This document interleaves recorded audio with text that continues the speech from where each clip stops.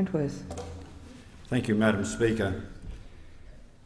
Today we are assembled again to say farewell to one of our nation's great leaders. We've said farewell to Gough Whitlam this year, and now we say farewell to Malcolm Fraser. Malcolm Fraser has, as many speakers have noted, been defined by his great uh, conflict with Gough Whitlam. Not in his own mind and not in our minds. Not in our minds. That was an extraordinary conflagration in our political life. It's one that Australians will talk about and read about and school children will study for forever, for centuries, as long as our nation exists.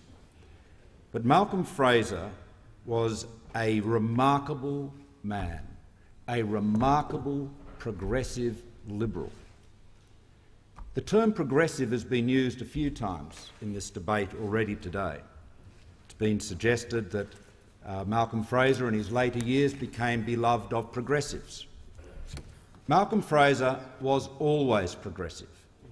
And he said right back in the early 1960s, he noted on one occasion how remarkable it was that people who opposed the tyranny of the Soviet Union were regarded as extreme reactionary conservatives.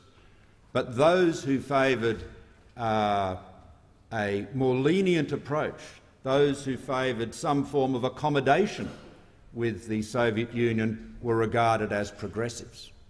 And yet, were not those, he asked, who fought for freedom and democracy and individual liberty, were they not the true progressives? I think we'd all agree now, with the 2020 vision of hindsight, that they were. Madam Speaker, before I go on, let me say a little about the centrality of Malcolm Fraser's life.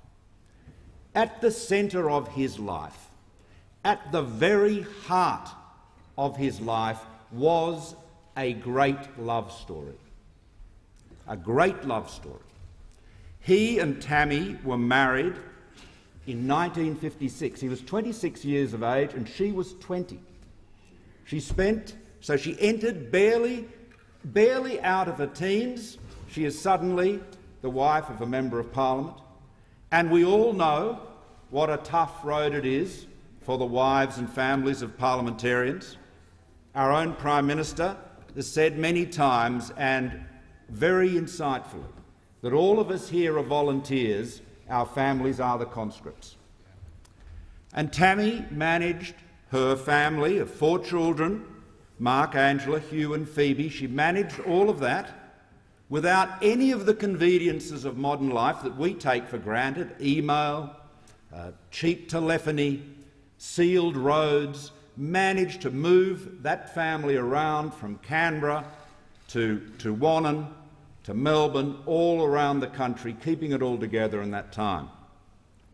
The Deputy Prime Minister, leader of the National Party, spoke uh, of the great friendship between Doug Anthony and Malcolm Fraser, and it was a very deep friendship. And they were, they were citizens, arm in arm, Madam Speaker, as you would recall. You were on the other side, as I recall. They were Doug Anthony and Malcolm Fraser were citizens, arm in arm, on the side of the yes vote in the Republic campaign uh, and that you could see the affection between them. But that relationship, that relationship was struck between their wives. Between their wives, when uh, the um, uh, in, the, in 1957, uh, Margot, uh, Doug Anthony became elected to Parliament. Surprisingly, it was as much of a surprise to him as it was to Malcolm Fraser. Malcolm, threw his hat in the ring in a pre-selection as a young man of 24, thinking he would have uh, no prospects. And of course, Doug Anthony was thrust into Parliament uh, un unexpectedly because his father, who preceded him in the seat, had died. Uh, so he had two young wives, Margot and Tammy, here in Canberra, a very cold place, as Tammy once said, seemed to be full of old, old, grey, bald men. So uh, what does that that's a, Nothing's changed, I heard somebody say, Madam Speaker. That's a very harsh comment. But um, perhaps, perhaps, there are not quite, not quite as many uh, men as there used to be. But nonetheless, still, I think we would all agree too many. Uh, but relative to the women. Uh, but, the, uh, but, but those, that pair formed a bond. They were having their first babies together, both young women, both in this pretty tough environment. So, Madam Speaker, above all, and I know that Malcolm's family will, will recognise. Uh, out of all of this and the, the uh, discussion of his great achievements, to which I'll turn in a moment, out of all of this is this House's, this Parliament's, this nation's love to them, to the family, recognising their grief, uh, their loss, and above all, honouring that great love story which was the foundation of Malcolm and Tammy's joint expedition into the public life of Australia and all the achievements that flowed from that. Now, I should say a little bit about Malcolm Fraser's uh, demeanour. He was elected to Parliament as the youngest member of Parliament at the time, quite uh, at uh, 24, but he was also the tallest. And, uh, but he, he had always, partly I think because of his height, a, uh, the member for Longman, uh, Madam Speaker, should not feel that as a backhanded uh, So, uh, but the, the, unlike the member for Longman, the then member for Wannon, the young member for Wannon, had a, uh, had a, had a chilly demeanour. Uh, he was shy. and I think a lot of people took that for a, for a real personal coldness, which was not the case. Malcolm Fraser was a shy man, and in some, in, in some cases, uh, that, was, that was really misinterpreted, and that coupled with his height, a rather austere appearance, the farmer from the Western District, it was easy to paint a caricature, particularly contrary to the flamboyance of Gough Whitlam or indeed the, the extraordinary gregarious conviviality of Bob Hawke that succeeded him. But he was always uh, a very droll man very, he had a very good sense of humour. And I want to uh, recall, Madam Speaker, a letter that Malcolm Fraser wrote to the Melbourne Sun on the 3rd of June 1954, uh, after he had only just failed to win the seat of Wannon from the Labor Party. The Labor was a, it was a Labor seat. He nearly won it, lost by a few hundred votes, and then, of course, won it the next election and then built up his majority till it became a very safe seat. But he wrote this letter following that, uh, that election. Sir, in the, case of the, in the course of the recent federal election campaign, statements have been made in the Melbourne press with respect to my football activities past and future. These statements have been quoted as having been made by me. All are untrue. I did not say I played Australian rules football for Melbourne Grammar or rugger for Oxford University. No local team in the Western District has ever approached me to play football. The only position that I would be qualified to fill on a football field would be that of a goalpost. now, for a, a shy 24-year-old, honourable members can understand he had a very good sense of humour. Now, Madam Speaker, often governments and politicians and leaders get credit for doing things that would have happened anyway because the tenor of the times is such that certain reform was inevitably going to happen and the respective government or Prime Minister uh, or Minister for that matter is Johnny on the spot who happens to be there to make the decision that had to be made. But the real mark of political achievement is when leaders actually change history, when they do things that are different and Fraser had a very deep sense of this. After all, as the Treasurer, who's not here anymore, but the, the Treasurer was so sorry, he vanished. It's quite a feat. but the, uh, as the Treasurer was saying earlier, as the Treasurer was saying earlier, uh, in his speech, in his Deakin lecture, and he had made the line, life is not meant to be easy, he was actually summarising Arnold Toynbee's uh, 12 volumes, which was quite, quite an achievement, which he'd studied at Oxford. And Toynbee's thesis really was that civilizations basically give they they're not destroyed by exter external forces they commit suicide they give up. And he made the point that we have to keep on we have to keep on fighting we have to recognize we've got big challenges and keep on going at them. So that's what he meant. It wasn't uh, uh, at all the sort of smug remark that it was later represented to be. But when you look at what he did in respect of shaping the nature of Australia today, it is really quite remarkable. I mean, when you sum up Australia to uh, a foreign friend, one of the first things you'd say is this is the most successful multicultural society in the world. There is no, no country in the world that has a higher percentage of immigrants, that's to say people who are born outside of Australia, no, no, not one, no comparable country has as high a percentage. America, supposedly the melting pot, has half the percentage. And ours is so diverse. How have we been able to do that so successfully? Well, this has been the work of generations and of, and of hundreds of thousands, if not millions, of Australians. Ultimately, it comes from the good sense and big-heartedness of Australians. Seen enormous leadership from those in this chamber. Of course, the member for Berowra, who I know will speak later, uh, is uh, one of the great architects of this. But Malcolm Fraser was so far ahead of his time. He was the first federal politician, as far as we know, certainly the first minister, ever to use the term multiculturalism and talk about multiculturalism, and he did so in a speech to the State Zionist Council of New South Wales in 1969. That is a full four years before Al Grassby, uh, described as the father of multiculturalism, uh, became a minister. And you can see here, Madam Speaker, where impressions can be so misleading. Malcolm Fraser, the tall, rather austere, uh, double, you know, uh, uh, suited with a waistcoat, generally with a waistcoat, sort of stiff English shoes, looking very much the creation of the establishment. Undoubtedly a member, a scion, if you like, of the Protestant ascendancy in the Victorian establishment. So it's easy to put him into that conservative box. And Al Grassby, of course, with his moustache, his purple suits and so forth, clearly, clearly a progressive and a, and, a, and a radical. But there was Malcolm Fraser four years before, in office, making those very points. Now, he, his views on this matter, I think, were in large part formed by sectarianism. He, as I said, he grew up in, a, in the days when sectarianism was, was much stronger. Of course, he was, went into politics at the time of the Labor split. Uh, he was very close to B.A. Santamaria.